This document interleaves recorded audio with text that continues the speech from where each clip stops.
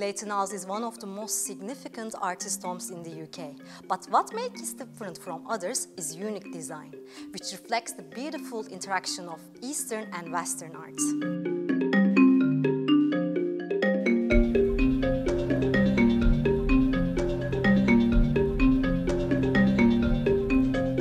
The house was built Frederick Leighton as his studio house. He started it in the 1860s. He lived here for 30 years and almost throughout the 30 years he was adding to the house or embellishing it in some way.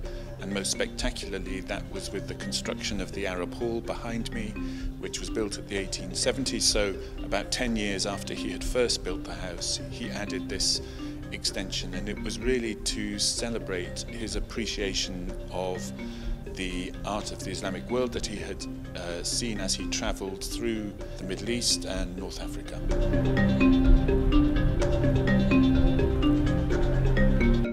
So he travelled first to North Africa when he was a young man in the 1850s and then he went travelled to Turkey and then Egypt and then Syria and on all of these trips he was certainly making an, a great effort to visit places which he found inspiring and and aspects of them and influence and inspiration from them was brought to the design of his own, his own house and the, the Arab Hall here.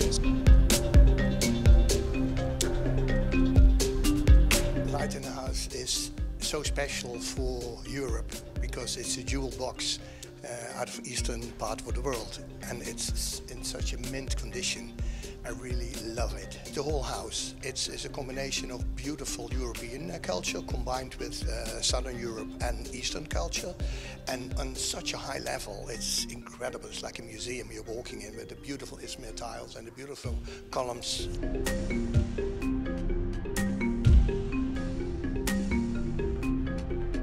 at that time, not everyone could travel.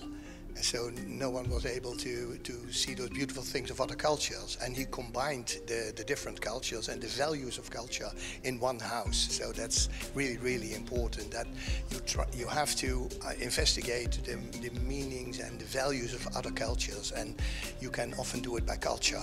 And that's what he did. He combined it all and he showed us that culture is very important for you and mankind.